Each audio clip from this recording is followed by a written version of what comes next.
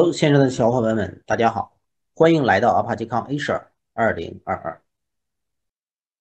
今天我带来的分享主题是 Apache Dolphin Scheduler 在联想作为统一调度中心的落地实践。首先，先做一个自我的介绍，我叫李岗，我是 Apache Dolphin Scheduler 的初始提交者和 PMC，是 LC 北京的 Member，目前在联想担任数据架构优化的工作。那么今天的分享。主要会从以下几个部分展开。首先，先去介绍统一调度中心的需求背景。其次是我们为什么选择 Apache Dolphin Scheduler 作为统一的调度中心。第三个是 Apache Dolphin Scheduler 在联想的落地实践都有哪些的功能改造。第四个是 Roadmap 的一个介绍。那么定时任务的话。对于我们每每个开发人员来讲，是也是一个常见的业务的场景。我们通常都会遇到需要定时的对数据进行一个备份、同步。而一般的解决方式，我们最开始会选用 Cron Table，或者说基于 Spring 去开发这样的一个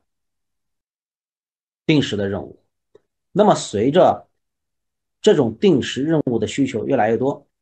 如何更好的、更方便的对他们的生命周期进行管理？这个时候，统一的调度系统，它的需求就呼之欲出了。那么在联想的话，也是基于类似这样的一个背景需求，我们搜集了其他的 domain 这样的一个需求。大概罗列出来以下的几种，我们可以一起去看一看。主要呢也是分为三个大的部分。那么前三个我们会看到，它更多的是任务类型的这样的一个支持，需要去支持定时的通知的这样的任务，然后 ETL 任务的支持，还有希望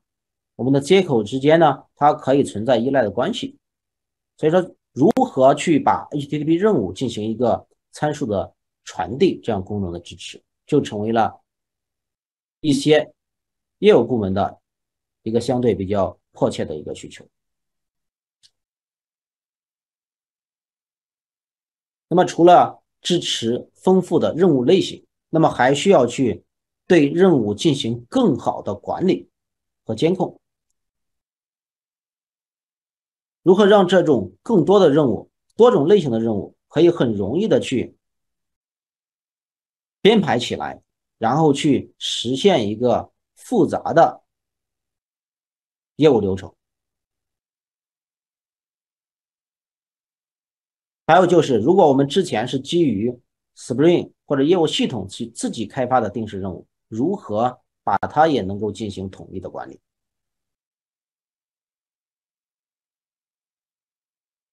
而第三类呢，一般是基于当我们的任务越来越多的时候，如何去保证到任务可以准时的、正确的进行出发？进行一个总结和抽象的话，也就是我们需要这样的一个调度系统，它需要满足以下的六个重要的特征。首先，它一定要是高可靠的。这样的话才能够支持任务可以按时正确的进行调起，而稳定性呢，也正是调度中心的重中之重。所以说，我们要去支持分布式的这样的一个架构。第二个呢是，它一定是支持多种的类型，它。可以支持丰富的业务的场景，然后对用户又比较友好。我们可以通过 UI 非常方便的去对正在执行的任务进行任务的状态查看，然后对它进行一些暂停、停止的操作等等。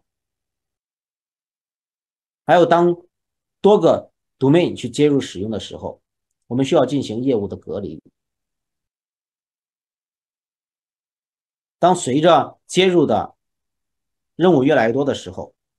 如何能够快速的去扩展我们的调度集群，并且随着线性的增长，我们的性能也可以线性的增长。那最后一个呢是如何更好的、更快的满足业务更多的需求。那么这里就知就需要去我们对于任务本身呢是有一个很好的扩展的这样的一个功能，也便于更好的、更快的进行一个二次的开发。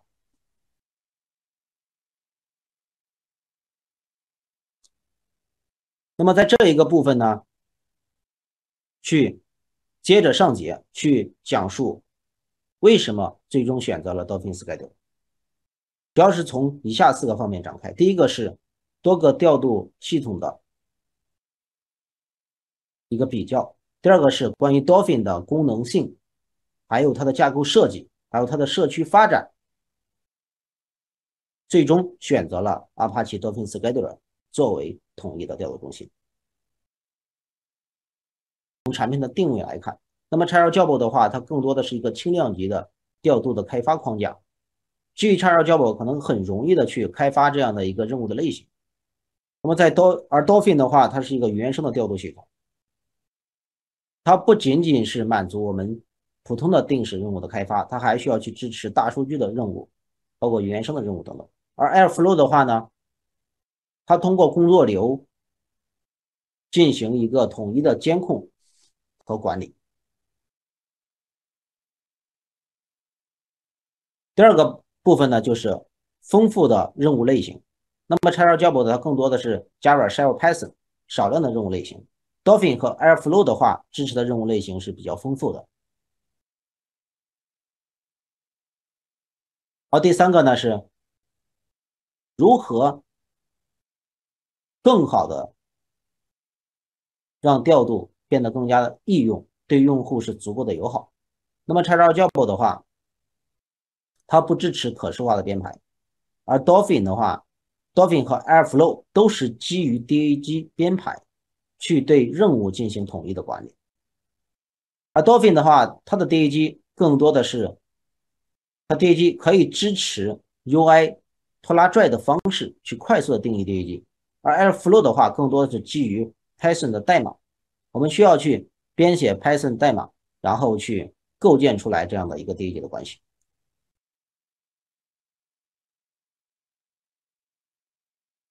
它就是如何更好的去扩展我们的任务类型。那 c h a r j o b 的话，它主要是基于 Spring 去支持 Java 的这样的一个开发，而 Dolphin 和 Airflow 的话，都可以去支持更多任务类型的开发。Dolphin 的话，采用 SPI 的机制，更好的支持任务方便的扩展。那么在大数据团队里面，可能更多的是关注到一个多租户的这样的一个需求。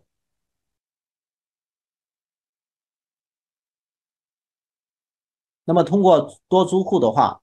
，Dolphin 就可以去绑定到样上不同的队列，而这样的话就会更好的去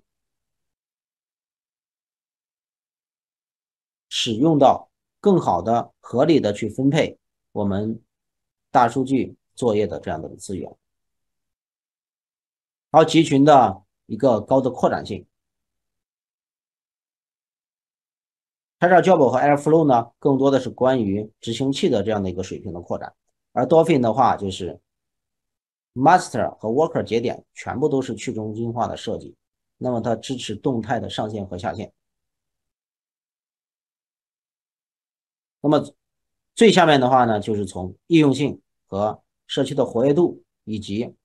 二次开发的这样的一个成本进行了一个结论性的比较。那么最终的话。呃，因为我们的团队呢也是使用 Java，所以说最终选择了 Apache Dolphin Scheduler 作为统一的调度中心。好，那接下来的话，我们一起去看看 Dolphin 的功能的特性。好，首先我们可以看到这样的一张图，它其实就是一个大的 DAG，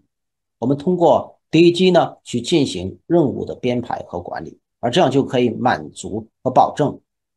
业务里面错综复杂的业务的关系。好，首先我们会看到，在这里它满足了任务的丰富性。在最左侧，我们可以看到它支持很多的任务的类型，有将近二十种，主要分为呢两类，有逻辑任务和物理任务。逻辑任务的话，指的是像子流程的任务、依赖节点的任务，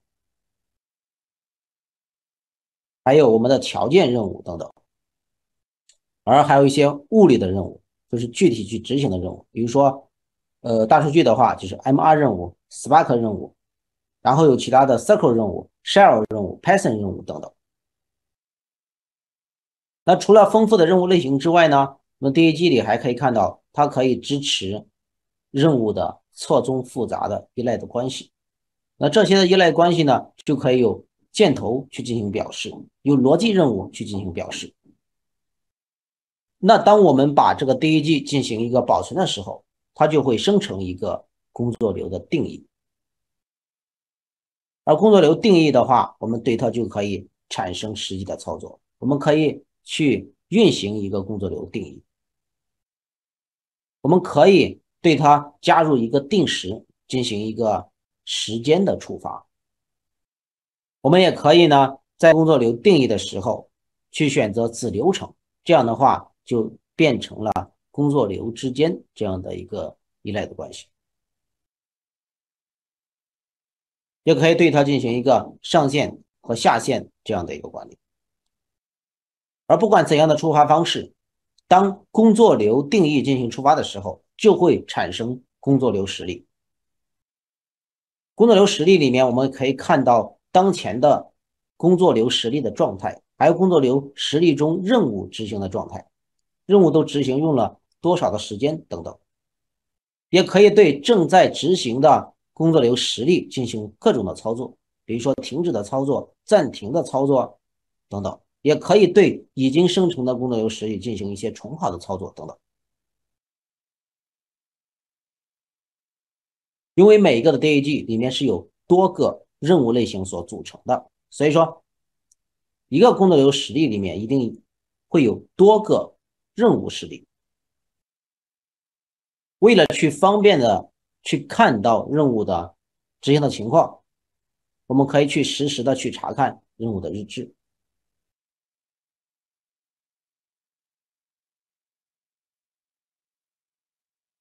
二点叉的话，它比着一点叉的版本多出了一些新的特性。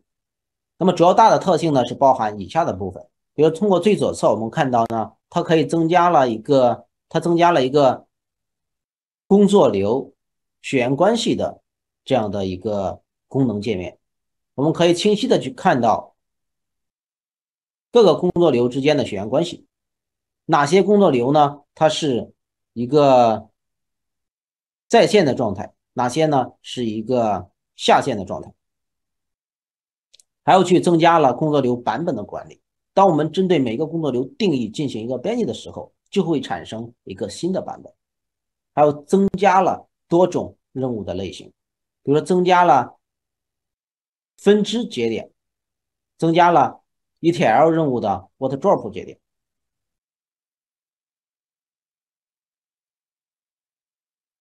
好，第三个部分，我们再去看一下架构的设计。首先，我们先去看一下 Dolphin 最开始的架构。那么在这里呢，我们去可以从头往下，从上往下进行一个查看。首先呢，我们是基于可视化的 UI 进行操作，我们去绘制出来这样的一个 DAG，然后对它进行保存，就生成了工作流定义，然后可以对它进行启动。当我们去手动去启动一个工作流定义的时候呢？就会去通过 API 把这个工作流的启动工作流定义的这个命令呢，去存放到我们的 DB 之中，而有 master 呢，就去获得这样的命令，获得完这个命令呢，进行一些工作流实例的解析，也就是我们 DAG 的解析，然后把它生成任务，然后进行任务提交，提交到哪里？提交到 ZK 的任务队列。然后由 worker 进行获取，worker 获取到之后呢，进行执行。在整个的执行过程中呢，我们可以在 UI 界面上去查看日志，就有 API 呢去通过 gRPC 去调用 Log Server 的服务去查看日志。那么在这里重要去讲述一下 Master 服务和 Worker 服务。Master 服务和 Worker 服务就是一个分布式无中心化的这样的一个概念。所以说，当我们去启动多个 Master 和 Worker 的时候，它都会分别的向注册中心进行服务的注册。这样的话，当任意一台 Master 或者 Worker 掉线的时候呢，就有会有监听机制去监听到哪些节点的发生了哪些事件，那这样就会触发到一些容错的机制，保证任务工作流的实力或者任务。可以正常的进行一个执行。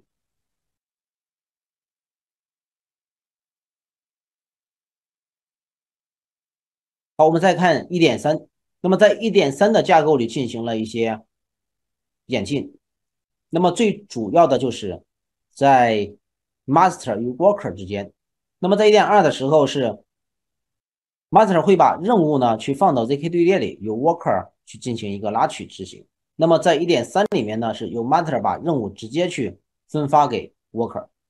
而这样的话就大大的去降低了取任务的这样的一个延时。而另外一个好处呢，就是 worker 的话，他会把任务的执行状态汇报给 master，由 master 去更新 DB，而 worker 呢，他的职责就会变得更加的单一。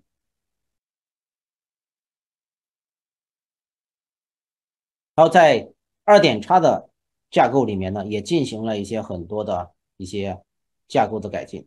那么主要呢是基于 A SPI 的这样的一个插件化的设计。首先把很多的组件都进行了 SPA 插件化设计，比如说数据源、任务、注册中心，还有告警。而这样的好处就是，我们的多个的任务、多个的任务插件之间呢，它是一个独立的关系。另外也可以可插拔的话进行选择，降低了任务架包的这种复杂的依赖性。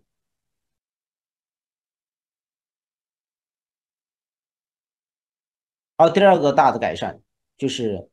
在二点零的版本里面，针对 master 进行了重构。第一个重构呢，就是去除掉分布式锁。那么在一点叉的架构里面，就是 master 的，因为它是多台 master 在共同去工作，所以说呢，在这里是需要有一个分布式锁去从 DB 里去取 command。而为了更好的去支持并发，那么在二点零的话，主要是去掉了分布式锁。那么主要是当 master 进行上线和下线的时候，master 都会重新去计算自己的槽位。而通过这种槽位呢，去获取对应的 command，而这样就会避免了分布式锁的这样的一个抢占。那么第二个重构点就是 master 线程池。那么在一点嗯差的版本里面，master 的线程池占用的是比较多，而线程的话又是相对于一个比较重的一个资源。那么在二点零的话，就基于线程池做了这样的一个重构，大大的减少了。master 里面线程池线程的这样的一个占用，而下面这张图呢，主要就是 master 里面这种线程的这样的一个相互的工作的关系。这里面最重要的就是流的执行线程，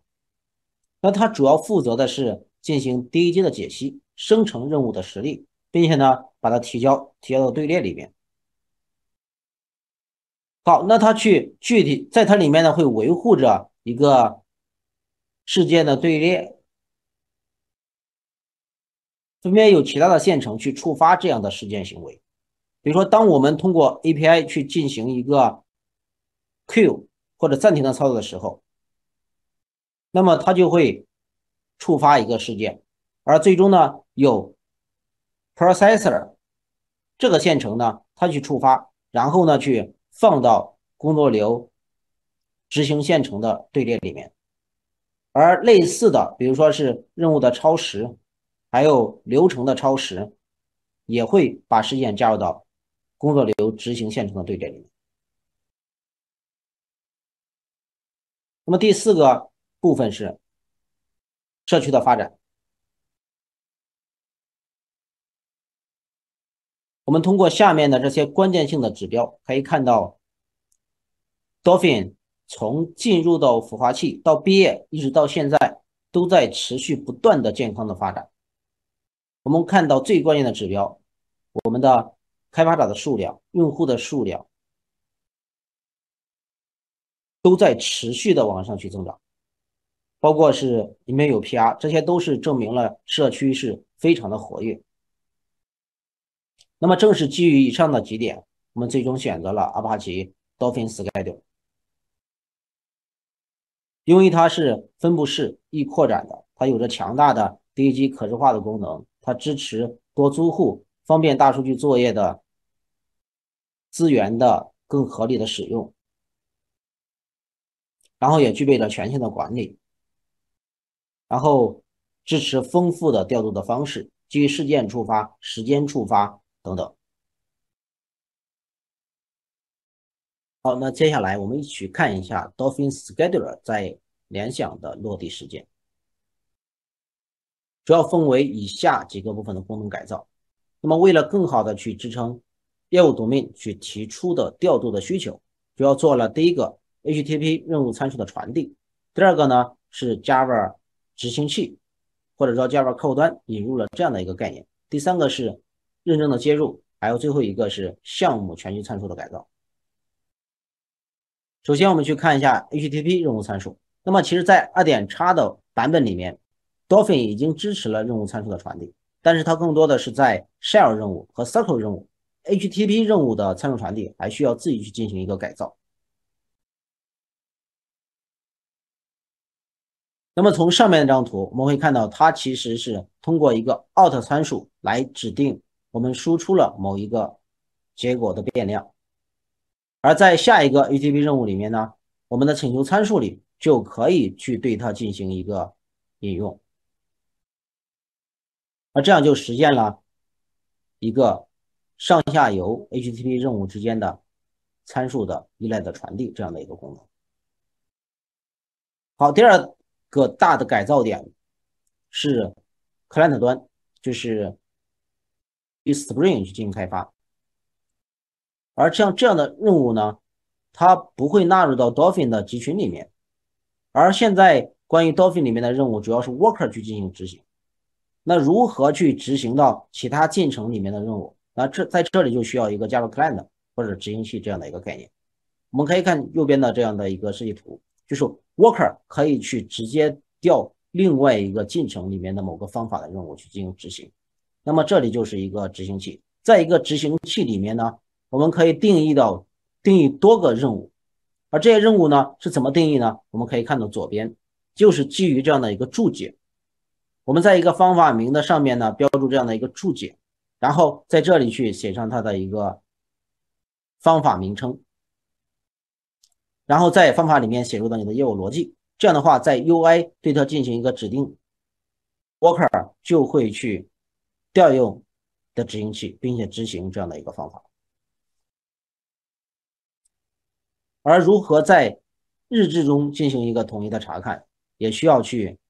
使用到 SDK 里面的这样的一个日志类，通过它去进行一个打印，我们就可以在 Dolphin 的 UI 界面上去查看到执行器的执行日志。好，这个就是关于 Java 任务的一个 UI 界面。我们需要去传入到 handler name，传入到执行器的地址，这样就可以去启动到我们的 Java 任务。我们还有一个改造是全局项目全局变量的一个改造。我们先来看一下在 Dolphin 里面它都有哪些这样的一个参数。首先是右上方的这张图，它其实是一个任务的。任务级别的一个变量，我们可以在每个任务里面都自定义一个参数，那么它其实是一个局部参数，它的优先级呢是高于我们工作流定义的这样的一个全局的参数。而如果再引入到项目的一个全局参数的话，它的优先级就会变成的局部参数大于工作流定义的全局参数大于项目的全局参数。我们可以通过最下面的这张图可以去看到这样的一个优先级的顺序。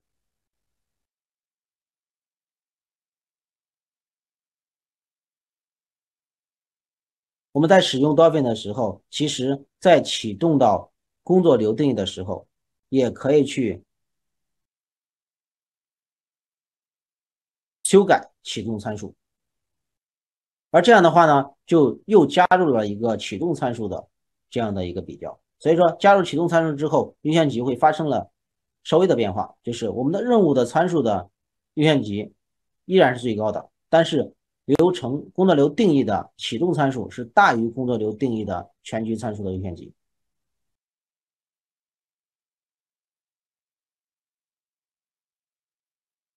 好，最后呢是接入到一个联想内部的认证。那接下来的话呢，主要去对 roadmap 进行一个介绍。那么 Dolphin 现在已经发布了三点零的版本，在这里呢也增加了一些很好的特性，比如说增加了对于数据质量的支持，增加了任务组的这样的一个控制，又增加了多种的任务的类型。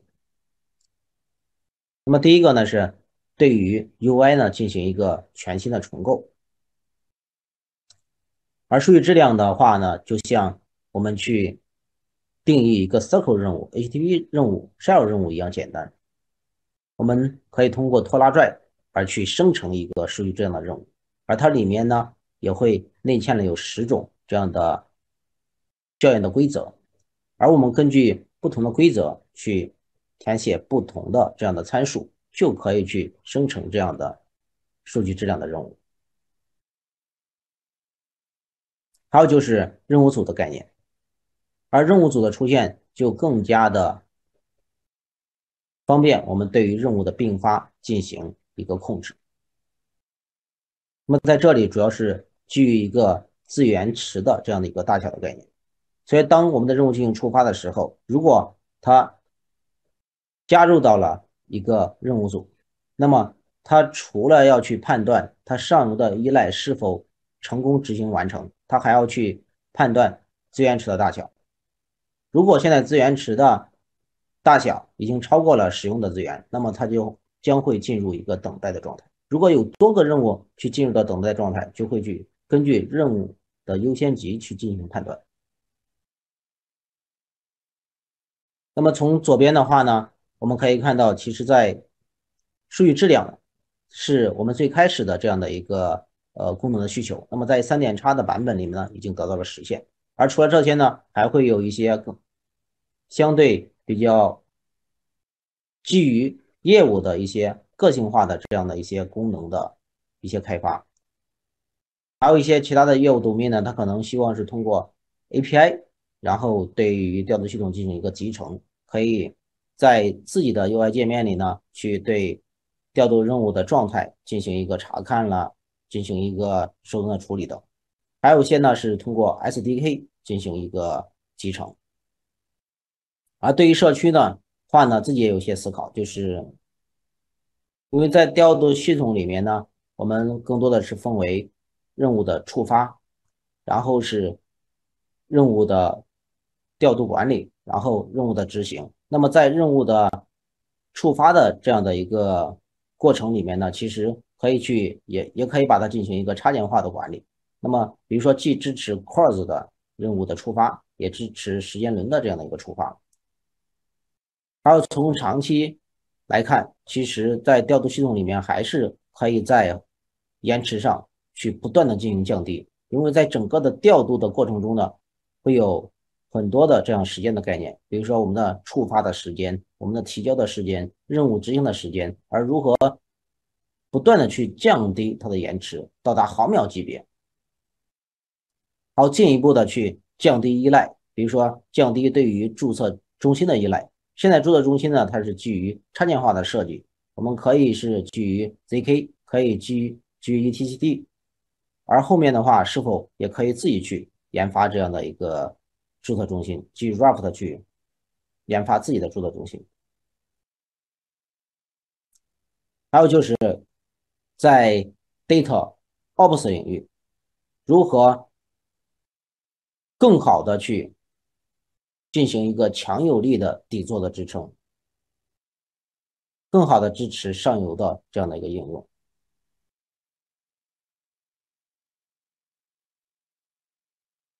那最后呢，也非常的